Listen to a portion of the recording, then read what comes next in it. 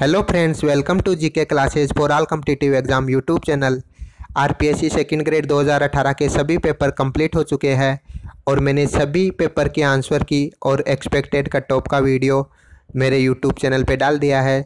जिस किसी को भी एक्सपेक्टेड कट ऑफ़ या आंसर की देखनी हो तो वो मेरे यूट्यूब चैनल पर विज़िट करके देख सकता है। तो मैं आज आपके लिए जो आर पी ग्रेड के जो न्यूज़ है, एक बड़ी न्यूज़ लेके आया हूँ।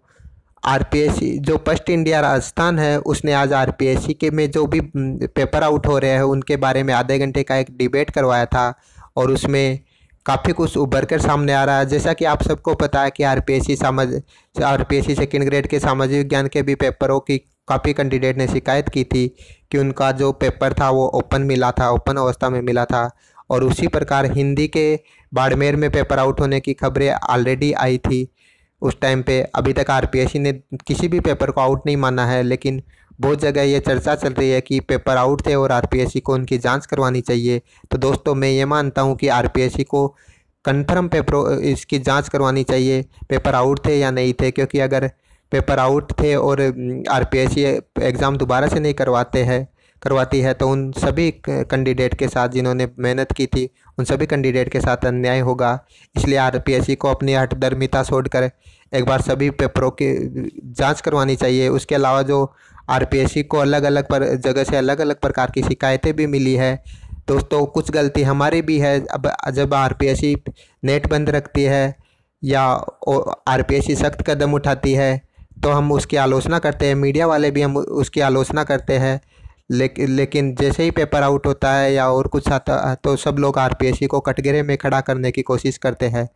तो हमें भी थोड़ा आर पी आर के जो सख्त रूल है, उनका साथ देना चाहिए, तथा साथ में आर पी एस सी को भी चाहिए कि वह अपनी सभी प्रकार की परीक्षाएँ निष्पक्ष रूप से करवाए, क्योंकि आरपीएससी की परीक्षाएँ एक तरीके से कोर्ट में जाना एक मज़ाक बन चुका है। आरपीएससी की हर वैकेंसी 2011 के बाद में जितनी भी वैकेंसी हुई है ऑलमोस्ट सभी कोर्ट में गई है।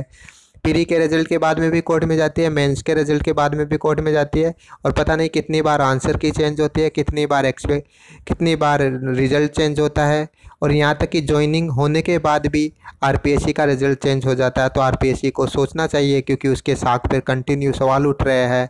आरपीएससी को अब टोटल जितने भी पेपर है, उनको निष्पक्ष करवाना चाहिए और जो भी है आरपीएससी के जो पहले पेपर आउट हुए हैं या नहीं है आरपीएससी को जाँच करनी चाहिए कि उनकी गलती कहाँ पे हो रही है। दोस्तों, जो फ़र्स्ट इंडिया राजस्थान ने ये डिबेट करवाया, बहुत अच्छा डिबेट था। उसमें, उसने जो मेन मेन जो खबर आई है, जवाब तो देना पड़ेगा। एक परीक्षा तक निष्पक्ष कराने में आयोग लाचार है। और ये बात पूरी तरह से सही है।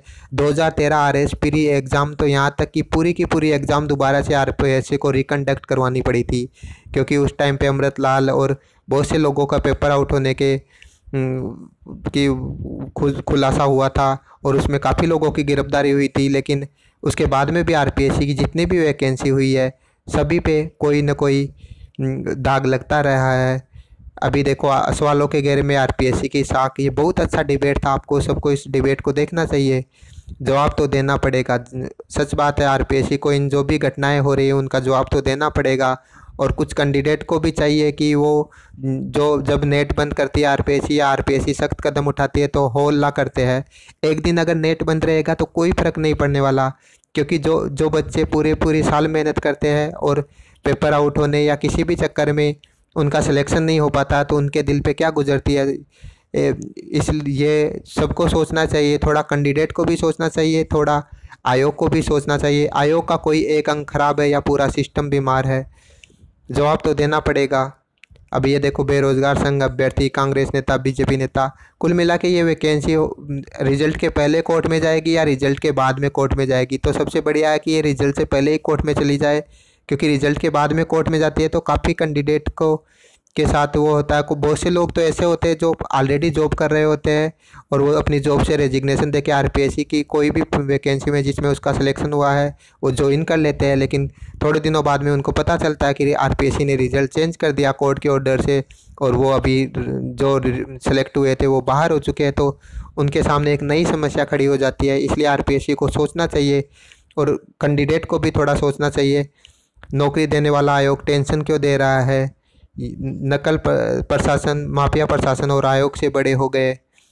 जितने भी अभी जो सेकंड ग्रेड में है सभी सेंटरों पे लगभग बहुत जगह ये कैंडिडेट ने शिकायत की है कि आरपीएससी के पेपर ऑलरेडी खुले हुए मिल रहे हैं लेकिन समझ में नहीं आ रहा आरपीएससी उस पर कोई भी फैसला क्यों नहीं ले पा रहा है। ये खबर बाड़मेर में परीक्षा पे, का पेपर आउट होने की सूचना ये तो पुरानी खबर है। थैंक यू दोस्तों, आपको वीडियो कैसा लगा? अगर आपको वीडियो पसंद आए तो प्लीज़ वीडियो को लाइक करना शेयर करना और सब्सक्राइब करना। दोस्तों थैंक यू